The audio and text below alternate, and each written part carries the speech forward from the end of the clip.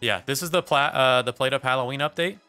So some of it is temporary, like limited time, and some of it I assume is permanent. I think. Uh, but yeah, so starting uh, now, we have the spooky update, and the first thing we get are costumes. So instead of just being a chef, you can have a nice pirate hat. You can be a jack o' lantern. You can have a nose, or a uh, a witch hat. They have full patch notes. Yeah, it's at the bottom of this. There's going to be new dishes, new automation upgrades, which is a teleporter, which is the upgraded dumbwaiter, and then corner grabber. There are some quality of life updates, which um, some are new updates to the cards. Uh, did they get rid of the ghost costume? I don't know. I don't know if this is the only four. And there's some upgrades to the Twitch integration. Uh, there's a new trick or treat mode, which we'll go into it. And then there's also four new cards. Uh, herd mentality, all customers come during rush time, which seems insane. Uh, picky eaters, customers can leave food on their plates, which must be thrown out, which makes trash cans actually useful, um, but seems annoying as well. Tipping culture, customers pay based on their remaining patience, which I think is kind of cool. I don't know how big of a buff it is. Like if you serve them immediately, if they give you a ton of money. Uh, health and safety customers are slowed by messes, which I think is uh, not bad either, or kind of cool as well. But yeah, here's the full patch notes. New costume. Player can now wear costume hats as well as their outfits. You can choose your outfit by using the costume chest in your bedroom. Choose from pirate hats, two ghost costumes, two slices of pizza. They are not all spooky, so they won't need to leave once Halloween is over. So these are permanent not limited time. This is limited time, the new Halloween setting. You can get into the spookiest of seasons with this time limited Halloween setting, which includes costume, customers, and decoration. You can also take your restaurant to another level uh, with the decorations. There is Haunting Fog and your customers, yeah, go into costume and order a single lettuce leaf. Okay. Show them that you care by sprucing your restaurant with some free seasonal decoration. The Halloween setting also includes two new music tracks from Sam. Shout out Sam, uh, who was behind all the other music as well. And this is what I think is the most exciting here the Halloween trick card set. It's in the Halloween setting, so it's it's uh, limited time as well. But there are 18 new cards. In the spooky spirit of Halloween, these trick cards uh, can be used by your customers. So they can set fire to the table when they leave, playing a trick. Um, but it can also be used with Twitch uh, integration. So it's only for Halloween. Once it's over, um, they'll be oh they'll be making their way into the rest of the game as an optional toggle, but they might be too spooky. So maybe limited time, maybe not, which uh, is exciting. But yeah, I think it goes into it down here. Maybe not. Uh, new decorations. Uh, I think there's new non-Halloween related decorations. Um, baked bean carpet. That's exciting. Five new flooring, six new wallpapers. Most are nice. So not all of them, I guess. uh, new food, bone and steak. It's a steak variant with a spooky catch. I don't know what that means. Maybe we're cooking the customers. Maybe this is a crossover of Bones Cafe with Plate Up. There's a new fish variant, which is spiny fish. Where did it go? Uh, spiny fish. Managed to automate every part of the dish that wasn't supposed to be automatable. Have fun with this latest spanner in the works. You'll need to remove the bone from the fish before you can cook it. Interesting.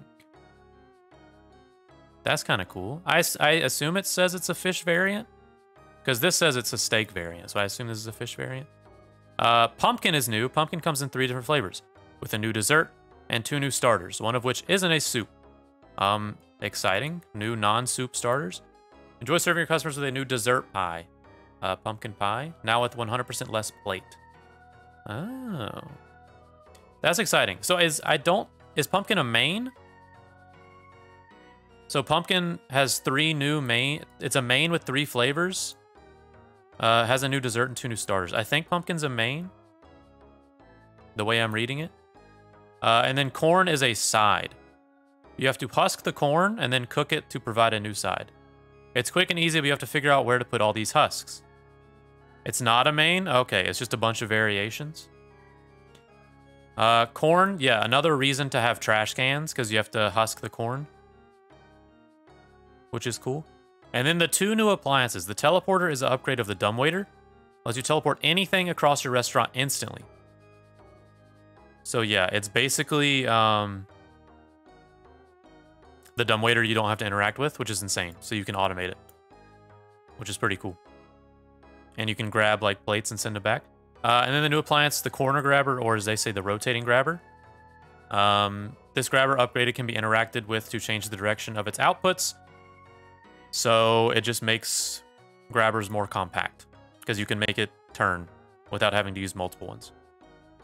Quality of life decoration benefits are now shown alongside the theme card, so you don't need to remember what the buffs are. That's huge. Uh, and then Twitch integration has trick or treat mode. Visitors can type visit trick or visit treat to make their customer do either a trick or a treat during their visit. And the only one that we know of at the moment is that you can set your table on fire as you leave. Uh, but there are 18 of them which we're definitely going to do. And then the four new cards we talked about um, herd mentality, health and safety, picky eaters, and tipping culture. And then there are some balance fixes and changes. Uh, the mixer sink and bin upgrades are now cyclic. So if you get a heated mixer, you are not uh, screwed over. You can upgrade it and you can send it to another mixer, which is insane. Uh, super, super cool to see, especially on the sink as well um, and I guess the bin.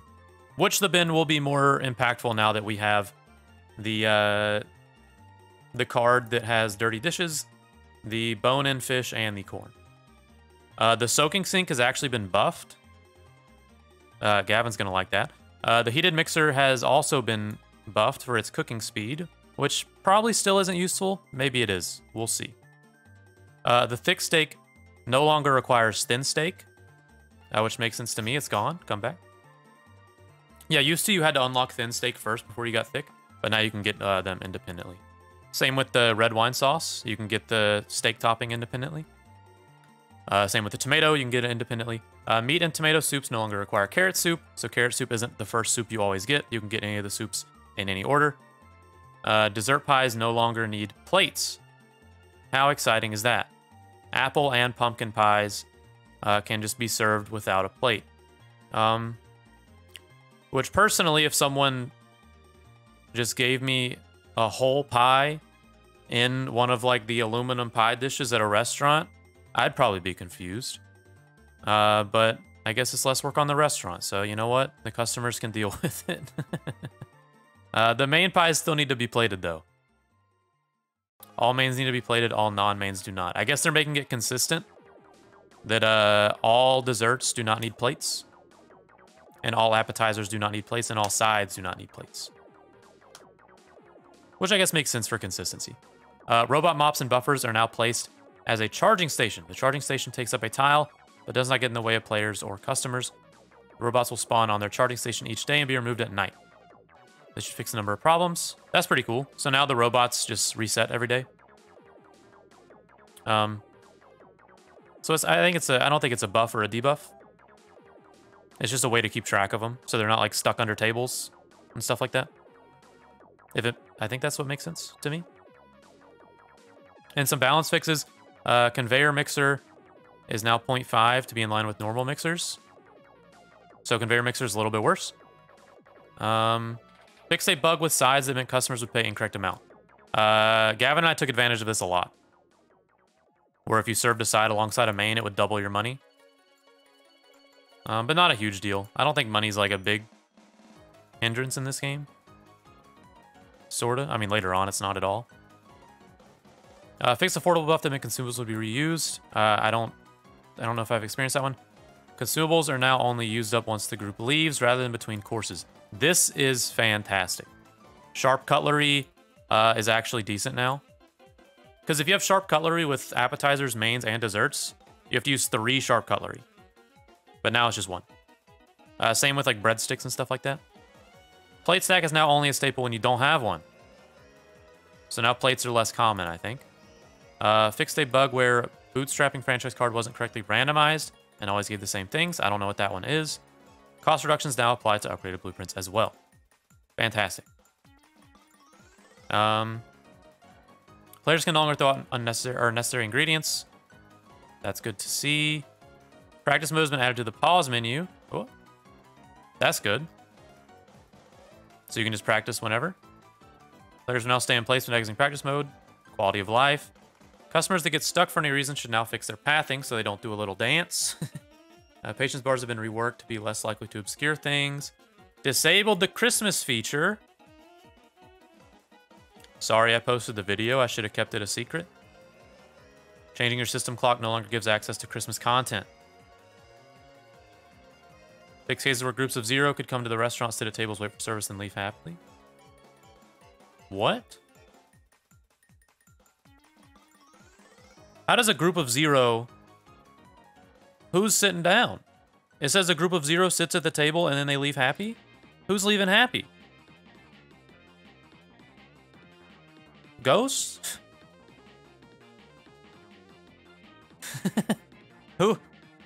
Uh, who is they? Whatever. And then a bunch of bug fixes. But that's it. That's the, uh, maybe they should have kept the ghost customers for the Halloween update.